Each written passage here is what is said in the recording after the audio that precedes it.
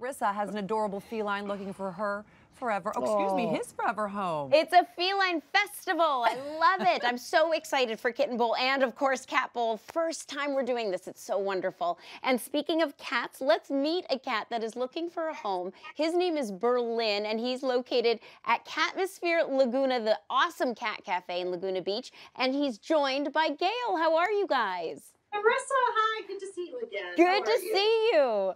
You didn't see this guy last time you were here. No. He's us. He is a, a darling, beautiful Abby Tabby, an Abyssinian Tabby, 11 months old. He would love to join your kitten bowl because he has certainly a lot of fun in here and we see how athletic he is. yes, I can tell he loves toys. I was watching this video earlier. Yes. Oh my goodness. And he has green eyes, which just make him so beautiful. And I, I hear he thrives around a lot of people and activity, correct? He does. And he also loves to be held. He's a very much a, a tummy rub lap type kitty, too. He's good all over the place. The only thing I would say is dogs. Small dogs, lots of cats, children, he'll do great.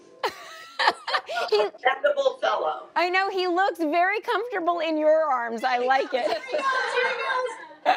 Well, he did look comfortable in your arms.